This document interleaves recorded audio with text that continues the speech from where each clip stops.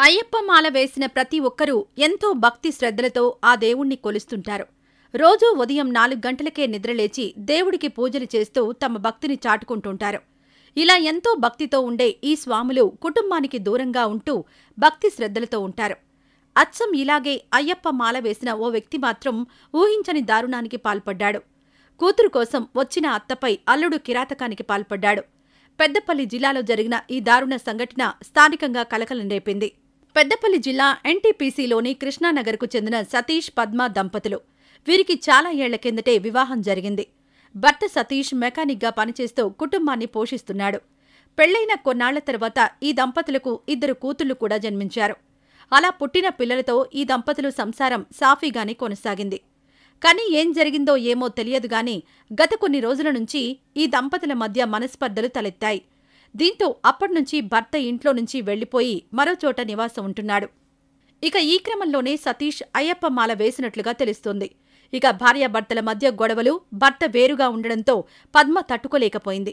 ఈ క్రమంలోనే ఇటీవల పద్మ ఇల్లు వదిలి వెళ్ళిపోయింది ఇక సాయంత్రమైనా పద్మ ఇంటికి రాకపోవడంతో కూతురు తన తండ్రికి సమాచారాన్ని చేరవేసింది. దీంతో వెంటనే భర్త స్థానిక పోలీసులకు ఫిర్యాదు చేశాడు.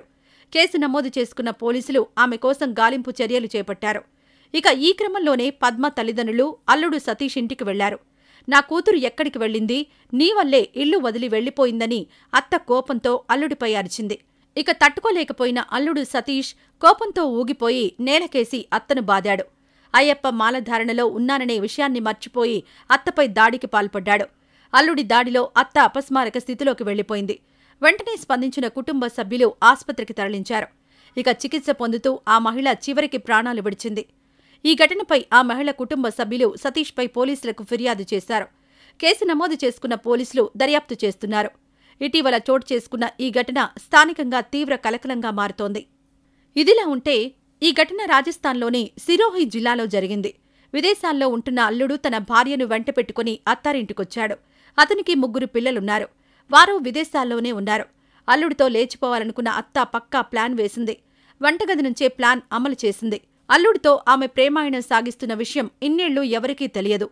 ఇప్పుడు తెలిసాక అంతా షాక్లో ఉన్నారు.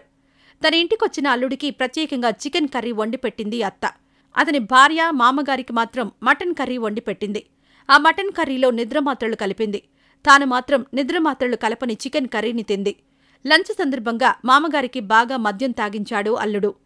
భోజనం తర్వాత భార్య మామగారు నిద్రమత్తులోకి జారుకున్నారు. అదే సరైన టైం అని భావించిన అత్త అల్లుడితో విదేశాలకు చెక్కేసింది. వాళ్ళిద్దరి మధ్య పదమూడేళ్ళ ఏజ్ గ్యాప్ ఉంది. సాయంత్రం నాలుగు గంటలకు నిద్రలేచిన మామకి దిమ్మ తిరిగింది. ఎక్కిందంతా దిగిపోయింది. తన భార్య అల్లుడు కనిపించట్లేదని పోలీసులకు కంప్లైంట్ ఇచ్చాడు రమేష్. తన కూతురు కృష్ణను నారాయణ్ జోగికిచ్చి పెళ్ళి చేశాడు. కాని అల్లుడు తన భార్యను ప్రేమిస్తున్నాడని తన భార్య కూడా అతన్ని ప్రేమిస్తోందని ఏనాడు అతను అనుకోలేదు. అంత రహస్యంగా ఈ లవ్ స్టోరీ నడిచింది. పెళ్ళి తర్వాత కూతురు అల్లుడు తరచూ అత్తమామల ఇంటికొచ్చి వెళ్ళేవారు కొన్నాళ్ళు ఇలా అయ్యాక భార్యను తీసుకుని విదేశాలకు వెళ్ళిపోయాడు నారాయణ్. గతేడాది డిసెంబర్ ముప్పై చివరిగా అత్తారింటికి భార్యతో వచ్చాడు. ఆ తర్వాత ఈ డ్రామా నడిచింది. అనంతర పోలీసులు కేసు నమోదు చేశారు. నారాయణ్ను విదేశాల నుంచి భారత్కు రప్పించేందుకు ప్రయత్నిస్తున్నారు. అతను ఇండియాకొచ్చాక అతనికి అత్తగారికి కౌన్సిలింగ్ ఇస్తామని అంటున్నారు. అయితే ఈ ఘటన స్థానికంగా అందరికీ తెలిసింది. ఇంటి పరువు పోయింది. అందరూ విషయం తెలుసుకుని అవ్వా అంటూ ముక్కున వేలేసుకుంటున్నారు. సమాజం ఎటు పోతోందని ప్రశ్నిస్తున్నారు.